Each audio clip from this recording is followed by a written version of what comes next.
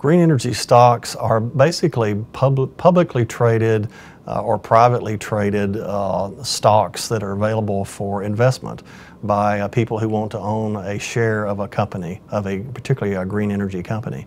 Uh, you can go to Google on the internet and type in the phrase uh, green energy stocks and you'll find a variety of information and uh, stock trading sites.